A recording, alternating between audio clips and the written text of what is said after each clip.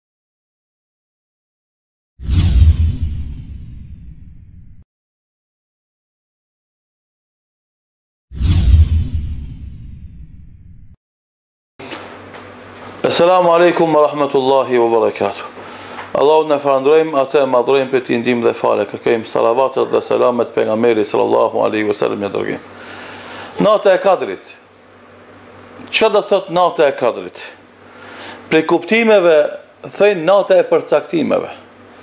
Andaj në natën e kadrit përcaktohen detalet e ndodhive për vitin e ardhshëm.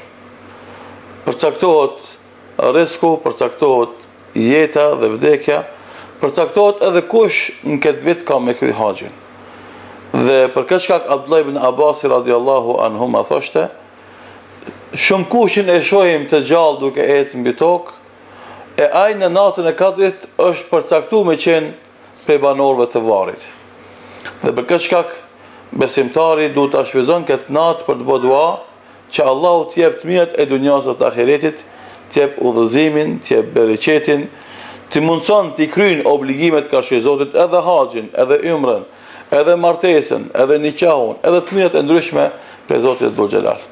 Andaj nata e Kadrit, nata e përcaktimeve, dhe kjo është prej kuptimeve që duhet ta kemi parasysh dhe konform saj të veprim, Allahu na mundësoft ta arrijmë dhe ta kalojmë si është më mirë. Wassalamu alejkum wa rahmatullahi wa barakatuh.